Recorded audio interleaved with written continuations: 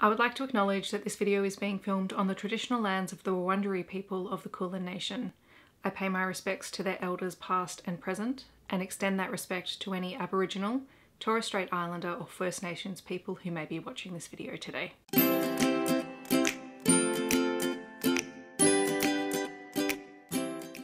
Everyone, my name is Steph, this is the Noveltea Corner and welcome or welcome back to my channel. Today I am very excited because I have kids review titles that are coming out today. Like they literally come out on October 5th. Instead of trying to fit them into other videos, I just decided to put them all in their own video. So it's kind of like a bonus one because they're all from Allen and Unwin who sent them to me. So I'm very, very grateful and now I get to share them with you. So I'm going to start with the picture books and the first one is actually not a new release. This is a re-release of an older title that I think was first published in 2016 but is currently in reprint and that is Fabish, The Horse That Braved a Bushfire by Neridah McMullin and illustrated by Andrew McLean. This is a really gorgeous story about a true event. So this one is about a horse that survived the Black Saturday bushfires here, which was a really tragic, horrible event that caused a huge amount of damage. And this is the story of Fabish, who is, was a racehorse, and I didn't realize that that was uh, the case when I, you know, requested this book. And when he retired from racing, he basically was the horse that looked after the other horses in the yard where he was living. And I don't know that much about horses, so I believe they're called yearlings. You know, everything's all good and, you know, Fabish is the, the older horse that takes care of everyone. But then the bushfires come and the trainer Alan has to make the heartbreaking decision to let Fabish and the yearlings go from the property. So basically opens up the gate and for their safety basically says, you know, you have to go because otherwise they'll be caught out in the fires. So Fabish and the other yearlings leave the property.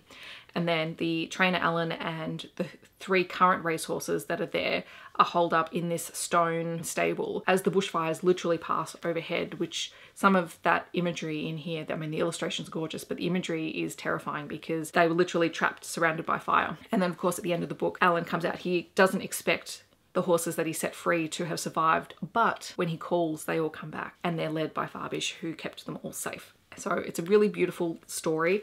Again, lovely illustrations, great for when you want a picture book that does tell a true story. In terms of using it in the classroom, this is a really fantastic text. Great evocative language, perfect for using with older readers. Next up is another picture book, or this one is a board book because it has cut out pages.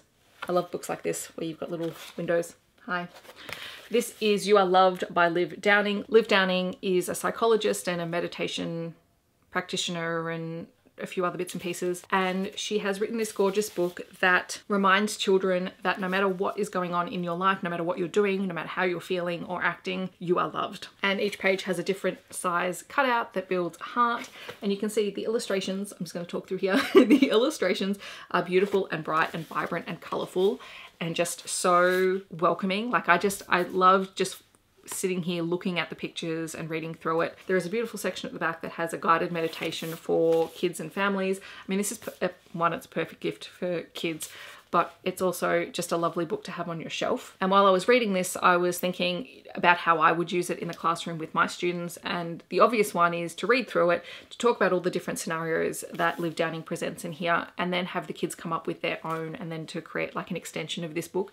What other situations are you loved in? Well, you're loved when you accidentally spill something on the floor or you know, when you make a mess in your room or anything like that. So I really, really loved this. It's a gorgeous book, very sturdy, so it withstand little hands and little fingers and I loved it. Now we're moving into the junior fiction section. Anh Do has a new book, a new series. This is Smarty Pup. The first book is Friends Forever, and this is JJ, who is Lily's new dog. And when they first get JJ, he's a very ordinary dog, if not the cleverest little pup who trips over himself a bit and is, you know, very adorable. But then one night there is a storm, and it turns out this is not a normal storm. It's a storm where some strange goo from space has fallen down onto the sky and anyone who steps into this goo or was touched by it suddenly gets mysterious abilities. And uh, JJ, who slept outside, happened to walk through a puddle of it and suddenly he can talk. And he's now very clever and he wants to go to school with Lily and so she takes him to school and then things get a little bit out of hand while he's there. It's very cute. I love all the illustrations. Unlike some of uh, Anh Do's other books, this one is fully is full color and it's very, very awesome. I know I'm going to introduce this book to the kids on Monday and I'm not going to see it again for a while. it'll be in their hot little hands. So yes, very excited to have this. Very grateful for the opportunity to start one of Anh Do's series from the beginning. Moving into some middle grade titles, we have Runt by Craig Silvey. This is a hefty book, but it's a very easy read. This is very reminiscent to me of things like Matilda and Babe. In this one, we have Annie, who sort of lives her own little life, and she ends up adopting a stray dog, Runt. Now, Annie and her family live in a rural town. There is not a lot of water, and what water there is has been commandeered by a neighbor who is very greedy and only thinks of himself. And so everyone in the town is suffering under the drought and under financial stress. And Annie happens to overhear her parents talking about their financial troubles. And she likes to fix things. And so she is constantly thinking about how she can help them. And when they're at one of the local fairs, she and Runt end up entering into an agility course for dogs.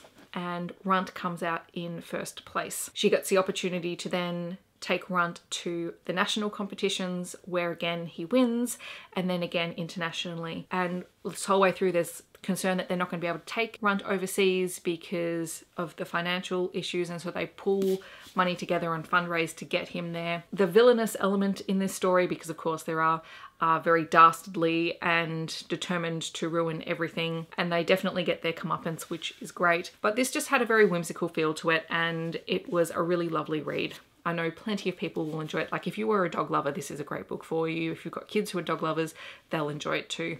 I'm not sure if this is Craig Silvey's first foray into kids books. I know he writes for adults, but it was very enjoyable and it did have that very lovely sort of magical kids story feeling to it. The next book is A Girl Called Corpse by Reece Carter. This is one that I received an ARC for months ago and then received a finished copy of it as well. Apparently this one had a bit of a bidding war on it for who was going to be publishing it here and Allen and Unwin won it out. And this was a really fantastic fantasy paranormal story about a ghost. So Corpse is a ghost. She doesn't remember who she was or how she died.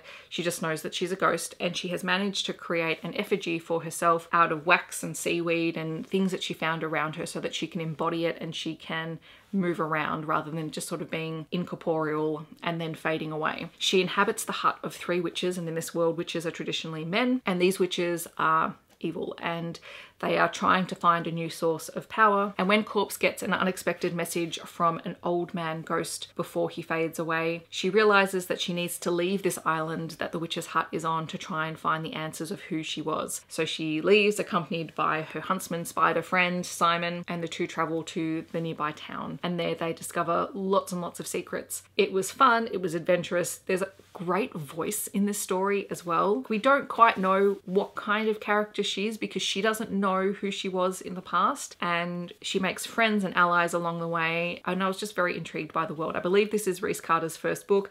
He is an Australian author so this was a lot of fun. Then we have The Raven Song by Zana Fraillon and Bren MacDibble. This is sort of on the older, middle grade, younger, young adult sort of spectrum in terms of readership. This is about two characters who are separated by 100 years. This is a post-pandemic, post-climate change world. The pandemic in here is not COVID, but it is reminiscent of that and it was not written with that pandemic in mind. Both the authors had started writing this before the pandemic and it just happened to coincide with it. And both these authors are known for writing really hard hitting books for young audiences, and this is definitely one of them. So, our main character is Shelby, and we spend a lot of time in her perspective. She's living in this post pandemic, post dystopian world where she and her father live in a community of 350 people on 700 acres, and that is how all of these communities have been set up. Everything fell to pieces, humans ruined the world with climate change, and so in order to combat that, these small communities were set up that had to learn to be self-sufficient off the land. Everyone has a job, everyone has a purpose, and they have no more or no less than 350 people at any given point in time. But Shelby is very curious about the outside world and these communities are fenced in, but she keeps getting sent to fix holes in the fence. And so she keeps seeing out through the holes and eventually she decides to go and explore. What she finds is the truth about the history of what happened and she's very intrigued by that. This is a very thought-provoking book. It would definitely promote great discussion around the pandemic, around climate change. It also deals with illness and people getting sick and being separated from their families.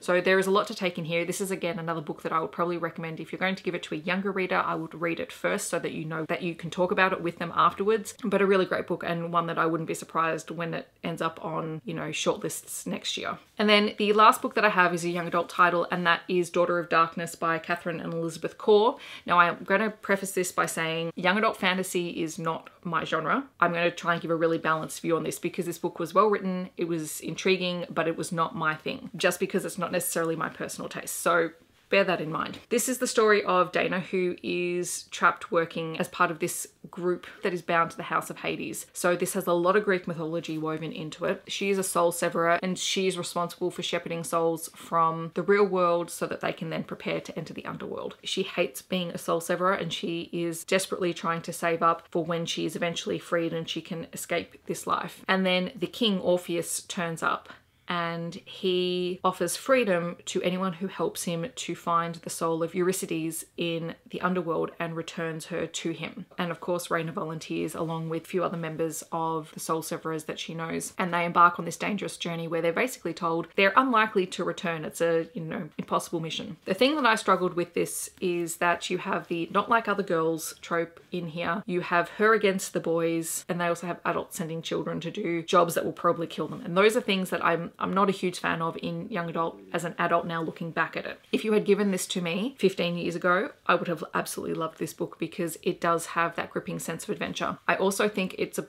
little bit long. I think it could have been a little bit tighter. I think some of the aspects where we get a lot of detail could have been tightened a little bit and then we would have moved, like the pacing would have been a little bit punchier and that probably would have helped as well. I did like the concept. I liked some of the reveals that we got, particularly in the second half, which again, I think the first half is what could have used a little bit more of a tighter plotline because once we get into the second half and we get the reveals like there are some very interesting things that happen some double crosses and some really interesting characters that we meet. I love what is done with hades in this book. I love that thanatos is a character in this book as well and it's there's some really creepy creatures living in the underworld.